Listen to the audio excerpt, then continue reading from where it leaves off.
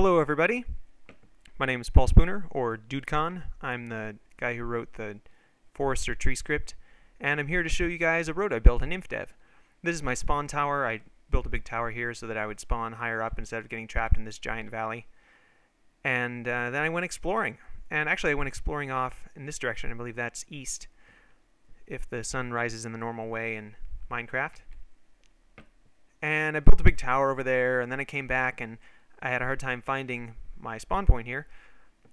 So I just kind of kept going and found a cool place and built a base. And then I thought, you know what? If I ever die, I'm gonna have trouble finding my way back here. So I headed north and south and built some big, uh, some big towers with some markers on them, pointing the way toward my new base that I built. And uh, then I jumped off the one of the big marker towers and died. And well, first I put all my stuff in chests, obviously. And then I came back, and here was at my spawn point. I headed off toward, what would that be, west, toward the west, and found my base. I was like, oh, sweet. But it was across a few oceans and some big mountains, and if I ever wanted to get back there quickly, it was going to be a pain to have to traipse all the way back there. So I built a road. So this is the road that I built, and uh, there were trees popping up in it, so I paved it. It's also nicer looking if it's paved. I just like it that way. But you can see it would be a real pain to go all the way across the ocean here and have to swim and then climb that big mountain and find your way every time and maybe fall. And it's just a lot faster this way. And hopefully, eventually, Notch will include some sort of increase in speed for going on roads or something like that. That would be really, really nice. So this probably took me about, oh, I don't know, four hours to build. I didn't really keep track of the time. My wife's like, when are you coming to bed? And I'm like, oh, I'm still working on this road. I got done at about 3 in the morning. So it's probably about 5 hours to mine all the way through all these mountains and build all these bridges and place all the torches, plus another hour to pave it all. So eh, maybe 6 hours. I think this is my favorite spot here.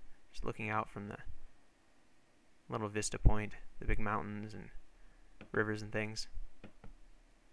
I haven't really gotten my wife to get interested in in Minecraft uh, InfDev yet. She likes the InDev. She builds things and builds lots of glass stuff and hollows out caves and finds all kinds of minerals. But I think InDev, InfDev, the, just the expanse of it, the largeness of it, kind of frightens her. So I built this road. Maybe, hopefully, she'll uh, have a frame of reference for where things are. I'll get her to build some waypoints and some supply stations and things along the road. That would be fun maybe get her on the same map. But at this point, she just builds stuff in InDev. Oop, oop. Almost fell off there. So as you can see, it's uh, fairly rugged terrain. I think Notch said he's going to make this terrain the most extreme of the different terrain types, but this is the kind of terrain where one would need a road. And here's a big bridge.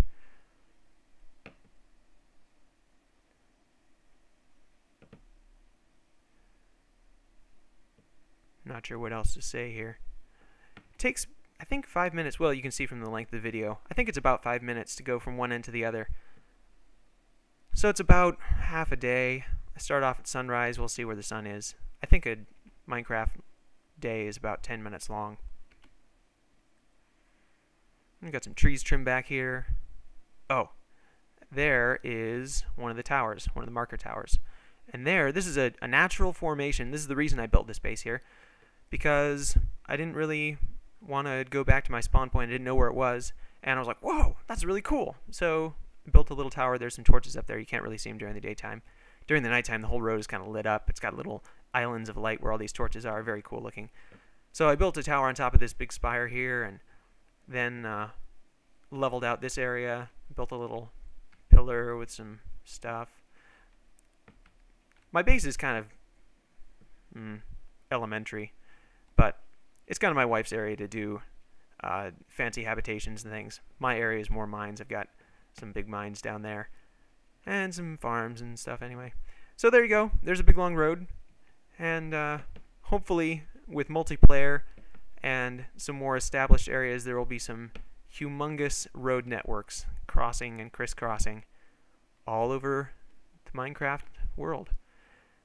Hope you enjoyed it. Uh, once again, this is DudeCon. I hope you uh, make some cool stuff of your own.